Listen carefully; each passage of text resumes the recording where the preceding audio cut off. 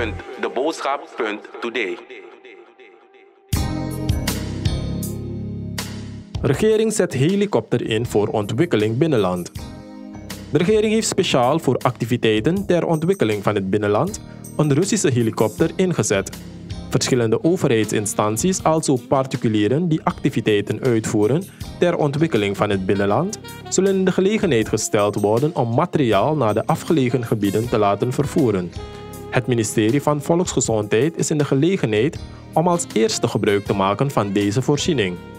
Het transportvoertuig is op 17 februari 2020 ingezet om vuilverbrandingsovens ten behoeve van het milieuplan van president Desiree Bouterse te transporteren. Op deze dag is een operatie vanuit het vliegveld van Zorgenhoop naar de dorpen Sneesikondre en Langatabbetje uitgevoerd. Het volledige bericht kunt u lezen op www.deboodschap.today.